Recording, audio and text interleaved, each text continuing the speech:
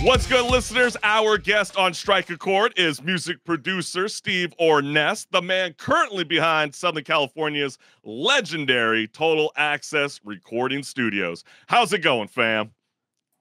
I'm good. What's happening, guys? Oh, everything Hey, hello, is hello. Louis Vuitton, Tom Ford, Gucci. Hopefully, everything's right. good in your world, man. It's all good I like over your here. studio. That is a nice little setup you're sitting in there. Oh, thank I you. know. It's, it's actually fake. It's just a background. It's just, you know, it's just Yeah. background stuff. Oh, It's right here. oh, so you- so you're in the AI. Kids. yeah, exactly. It's all AI. Ah, gotcha. Because I was gonna say that you're burning like an essence sticks right Funny. about now, but Oh, no Funny. essence sticks being burned. No, you're not. You're not doing no fragrance lamp in there. You're not trying to set the tone for any artist. Uh, not, not, not yet. I feel like you do need one of those like little lava lamps in the background. Oh, if I, if I uh, moved the computer screen, you'd see you that have I have a couple. Yeah. Really? you nailed it. To Yeah. They're See- by see, the I'm- keyboards because that's that's what keyboard players love. You have to have Mhm. lava. Yeah, to get a little See, lava. uh, okay, that's funny because I thought, you know, usually someone that's like a music producer like yourself, Steve, you're probably going like, oh my gosh, less noise inside this recording space would be great. I thought lava lamps made noise. Well, they're not quite lava lamps. I think they're like I don't know what you call them, but they're some sort of like lamp device. it's like the looks- oil thing. They're like, they do Yeah, this. exactly. Yeah, you did. He knew what I was talking about. We worked together. Ah, oh, okay. It sounds like because both of y'all are like the millennial soccer parents. That's the kind of vibes that you guys are giving me right about now. Oh I think I dropped gosh. acid watching those go. Like, wow. I have, to, I have to figure out how to dumb it down after the last conversation you guys have because I'm just the music guy. I'm not, not smart enough for any of that. I think we all needed a little shift of gears. It was that was a very beautiful, intense conversation, and we are ready to to continue forward, right? Absolutely. And Steve, let's talk about you because uh, you had an incredible upbringing as a child, uh, learning piano and guitar at an early age. But what happened when you started playing your Gibson now. Les Paul in the bleachers in high school? Very good, very good question. So I was the kind of kid that would come to school with the Gibson Les Paul and had long hair and was wearing leather pants. I'll give you the full the full description. Leather pants, the Gibson Les Paul, cutting class, playing guitar in the bleachers, and this girl came up to me and said, "Hey, you're you're really good. Uh, you should meet my my dad." And I said, "Well, who's your dad?" And she said, "Wyn Davis." And so I went home and um, went on the the family computer because that's how old I am. We had one computer in the house and typed his name in and, and thought, oh my God, this guy's done all these amazing records. And so I went back to school the next day and of course was like, yes, like please invite your dad to my next show. Um, and to my surprise, he actually showed up and was sitting there. And I remember being just terrified the whole time because I'm like, this guy's recorded my favorite guitar players, you know. Well, especially when you're probably That's playing in like half empty room, and then all of a sudden the one guy that does show up that you do invite Is he's Gandalf. all focus on you. Yeah, exactly. yeah. So are you starting to sweat reliving these memories? oh man, I'm just it's pouring off me right now. you know? um, but he was super cool. And after the show, he's like, Steve, you should come to the studio sometime, which I did. And he took me Mhm. under his wing and we started this work relationship where he would call me and have me play on records he was working on. And I started kind of assisting around the studio. I was only like 15 years old at the time or 14. Um, and yeah, the the sort of storybook part of this is that my mom was the one dropping me off, of course, because I couldn't drive yet. Uh, she met Wyn, they fell in love, they got married, so Wyn becomes my dad. Um, and fast forward all these years. wait, later wait, now- wait, wait, wait. Wait, They wait. Let's back this up. Yes. They fall in love and get married. And but didn't you say? Did you have a crush on his daughter that no, no, introduced no, you? no, no, no. Oh, okay. I'm about to say that. I'm about to get real freaky real quick. Jerry, Jerry. Exactly. I love my Jerry Springer. I always go there. would definitely be pretty wild. That'd That be would weird. pretty No, wild. Again, Well, I'm yes, not- weird, but why? yeah, I'm just not that interesting. Ah, But your mom obviously is. old. Yeah, is the interesting one. But I do have everything to thank to Tenley for introducing me to to her amazing dad, who I now That's consider cool. my dad. And and yeah, and again, fast forward all these years later, and I run the studio now uh, with Wyn, and and Aw. it's been a crazy, crazy journey. I actually never thought that I'd be doing this. I always thought it was just going to be playing guitar for artists, which Mhm. I did for many years, and then sort of just like a magnet found my way back to the studio. So No, I think that's such a cool thing because I know even after high school, you know, you pursued a degree at the Berklee College of Music on scholarship. And what did you discover about yourself attending this university? Man, the, the crazy thing about a place like Berklee is that everyone is the hero in their own zip code. So everyone is incredibly talented. You're not really special anymore. You're just like stand in line behind the other guitar player that can play what you just did, but better and cleaner and faster, you know?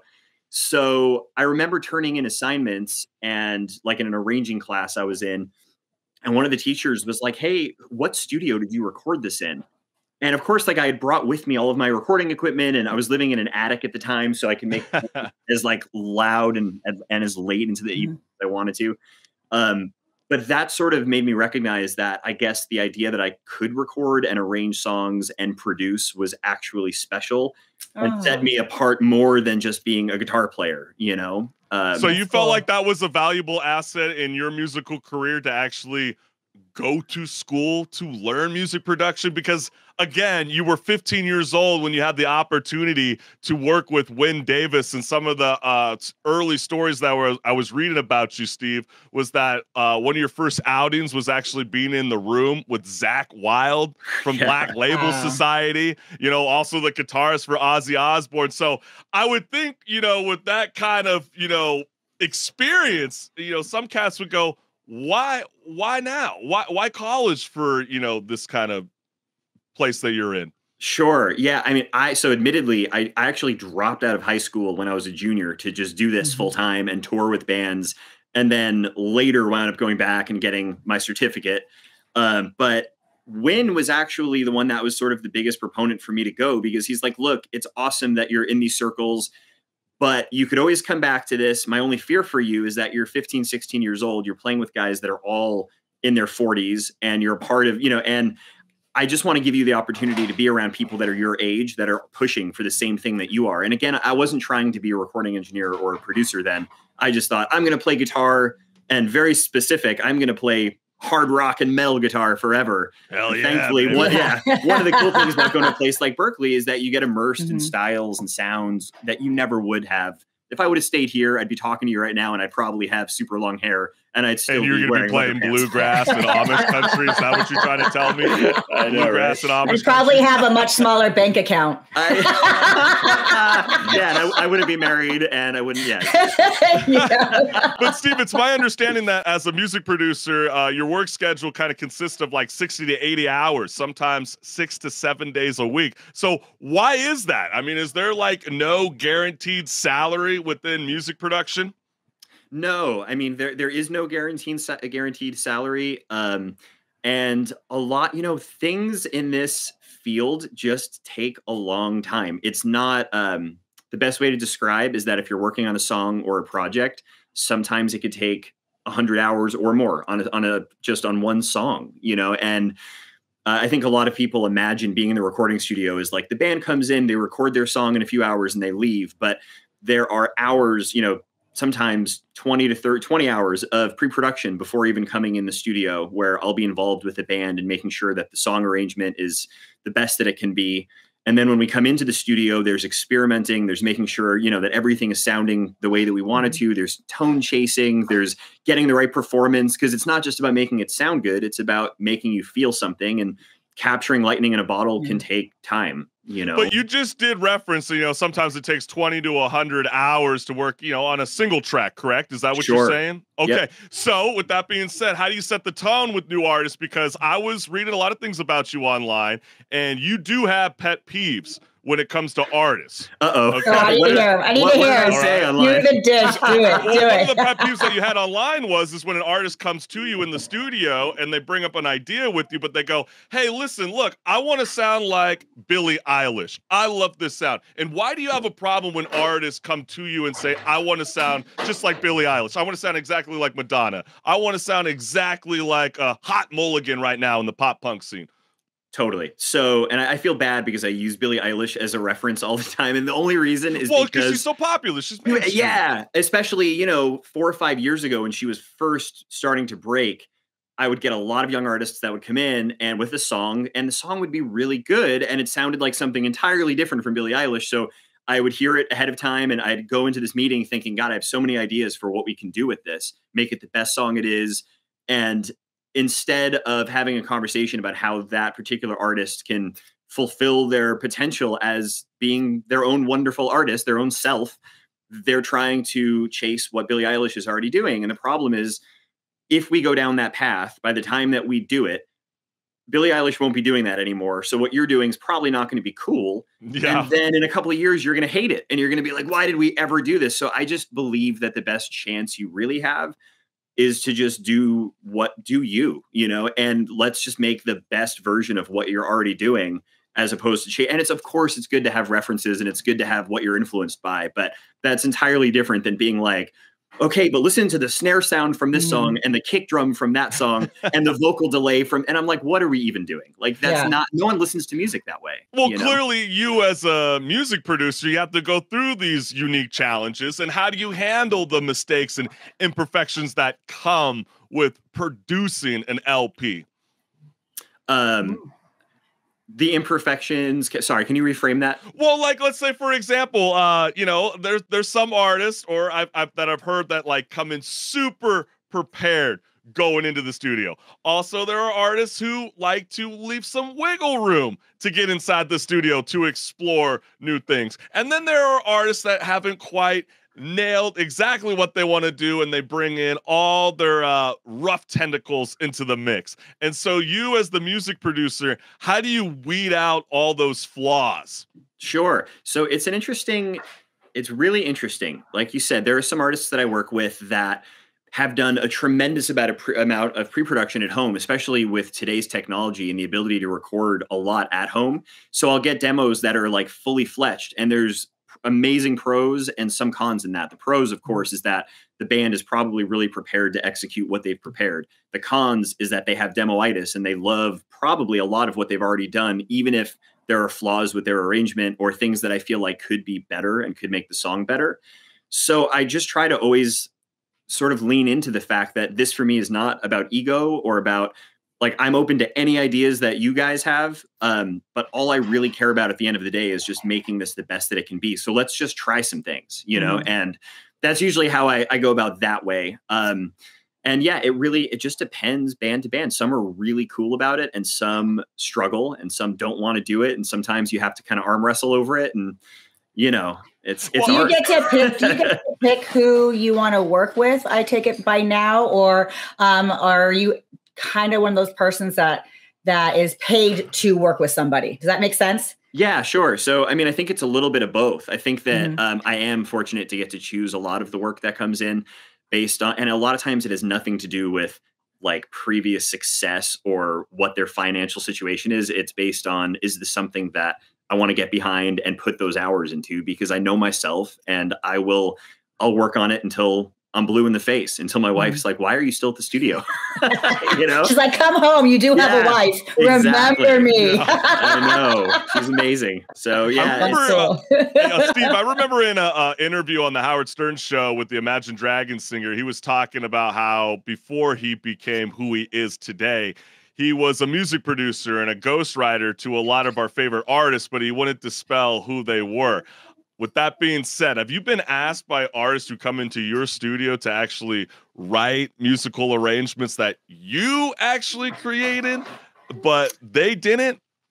Oh yeah. I mean, so here's my my take on it though is like I, I feel like people are, get too precious about doing everything themselves. And the reality is that this business is always a team effort, whether it's, you know, like this it's a you know if you're an artist you're building a brand. Like if you're mcdonald's you have a brand and you have a menu and you have staff and you have something that works about what you're doing that you can you know and it's this if you're trying to do this for real and you're trying to be professional you have an agent you have a manager you have pr you Mhm. have the label you have producers you have you have writers that sometimes help. I don't think that makes you less of an artist or less of a person. It's just people that are contributing to your brand and making it you know just But how you- often does that occur, though, Steve? I think that's like the real question. How often does the music producer uh, give in his own musical taste into some of our favorite hip hop, rock and roll, uh, country acts? i mean all the time you know like wow. Yeah, I mean there and and varying degrees, of course. But like I play bunch of different instruments and I sing and I do all these things. So a lot of times when I'll be working with an artist, I'll have an idea of maybe it's an arrangement thing, maybe it's changing a lyric, maybe it's a melody thing, maybe I'm just going to play a bunch of stuff. And it's it's again, it's not about ego. It's just about how can we shape the sound of this to like benefit the artist and and chase the vision that they have. And if, if I feel like I can contribute to that, then I'm gonna I'm gonna go for it. You know? Yeah, absolutely. And how often do you follow like the latest like music trends and technology? I mean, uh, and how do you like incorporate them into your work? Yeah, I mean, I, am always listening to what's going on out there, and some of it I really love, and some of it I just don't enjoy. But I think that's it's always good to just have taste, uh, your own taste, and know kind of it's really all this is. Is I mean, all we have is the taste that's in our own mouths anyway. There is no recipe for success, um, which frustrates a lot of bands because you'll have some sort of success, and then a band comes in expecting or hoping the same. Can you do what you did for those guys? And I'm like, but those guys are those guys, you know. Um, I was only a small part of that. Um, but as far as the technology part goes, I mean, I, I'm you know, our studio. I guess the reason why I'm bringing up the whole technology thing is, I mean, Marissa and I we talked about it like a month ago. I also do a, a, a side show called Rage Quit Video Game Talk Show with uh, one of our CCS uh, video game contributors, Henrik the Wreck, and we've been talking about all this like AI uh, technology that's been coming up, like GPT four. Uh, Ubisoft came up with their own thing called Ghostwriter, which is going to be actually uh, producing uh, dialogue faster for video games in the future. And I also know that Google has an AI out right now, which is uh, trying to produce music faster, lyrical and musically. Uh, so when you start seeing these kind of things, are you skeptical about the position that you're in as a music producer, or do you think that you'll just enhance these tools for you know your tools? Yeah, no, I, am not really worried about that. I mean, I, I, would say that with AI in general, I'm cautiously optimistic. I'm always afraid that people are going to mess it up because that's just what we seems so we do. We humans are. Yeah, we just, gonna, just, we're just gonna shit where we are. It's just gonna happen. You know, it's, it's, gonna happen. social media is an amazing idea, and then of course we just ruin and then it. humans get involved. It's yeah. like every sci-fi book I've ever read was like it was a great idea, and then came the humans. exactly. Yeah, I think we can all recognize that. Like you know, obviously the cameras have gotten so much better on iPhones. You know, just like how the microphones can be. So yeah, you could probably travel on the go a lot faster. But it kind of sounds like you're you're not as uh you don't think this is going to be as fulfilling in in the long term. I just believe that a great song is and and what goes into making like the hair stand up on your arms is not something hopefully anytime in my lifetime an, an AI, AI, can, can do. do. Yeah, it's I a mean, human aspect. I mean, yeah. there's there an AI will only ever go so far, and it's going to miss the one thing that that makes that an AI, which is the human aspect. We are unpredictable. There is a, a feeling. There's a. I, I think what you said. You wanted the song to um, make a feeling. It wasn't how it sounded, but how I feel when I listen to it. And an AI can never get that. Yeah, that's what humans aren't going to go anywhere without it. Yeah, oh, yeah, mean, it's so true. Yeah, the recording technology is incredible where it's gone. The things we can do now, I'm sure artists 50 years ago wish they had this. However, mm-hmm. when I listen to the Beatles, I'm not thinking about the recording quality. I'm not like yeah. worrying about like, oh, I, if only they had better converters. you know, like no one cares. Like they're just yeah, like, that's a good point. Oh, those Lucy in the Sky with Diamonds would have sounded so good with my stuff. the thing with AI that for me, I mean, and again, I'm probably the worst person to talk about this because I know the least. But what seems exciting is maybe in the medical world, like the yes. idea of a computer. That, that's a good point. you know. I'm all for ai just so you know i love ai i'm all for it. I oh, okay. we might we might die. we might die. the ais might kill us we might be the end of humanity um, but i am all for it. There you go marissa. Yeah. But steve you know it's been awesome to have you on strike yes. Court, brother and can you share any kind of upcoming projects or collaborations that you got in the works yeah, there's a bunch of exciting stuff that's going on over here. And one of the things I was going to just mention is that I feel like there's a shift happening right now in music that I'm hearing. And what it is with a lot of younger bands is it's almost like a combination of like 90s grunge and punk rock, but like a modern spin on it. And there's a lot of newer bands. And the way I know that this is more than just what's coming into the studio and an actual movement is I'm seeing bands getting signed and stuff that's starting to get played on the radio. And it's exciting for me because I'm hearing a lot of guitar again and a lot of yes. organic instruments, That's you know, right. in, in, modern music. Um, I'm working with this band right now um, called Willow Wake. We did mm-hmm. a song that actually got them on KROQ, and we're going back in this summer, and I'm co-producing it with uh, Jakob Armstrong, who is the son of Billie Joe Armstrong. Oh, yeah. Green Day. Very Yeah, yeah, yeah. I was about to Um, say, I know the name. Okay. Yeah, so super excited about that. They're they're awesome, man. They're just such a great young rock band. That's cool. Man, well, we'll Oh, we gotta try to get them uh, on. We have Scoping them out, and uh, absolutely, man. Well, uh, Steve Ornest, it's been uh, awesome having you on Strike a Chord, brother, and thank you, thank you, thank you again for joining us. You're Thanks, so Chris. wonderful. Thanks, Marissa. Appreciate Thanks, you. Steve.